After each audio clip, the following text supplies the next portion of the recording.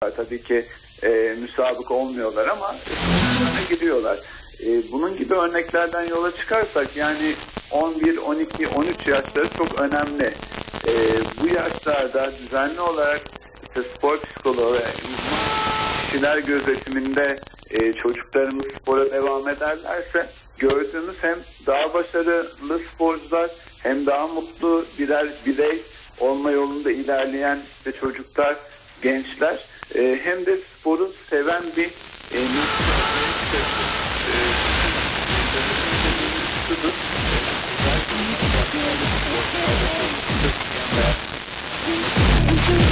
Oradan kopmalar çoğunlukla bu yaşlara denk gelir. Yani 13 yaş, 14 yaş bu yaşlara e, e, işte anlam, e, işte ailenin tutumu, antrenörün tutumu e, çok büyük bir noktaları dediğim önemsediğim e, sadece sporcu olan e, birer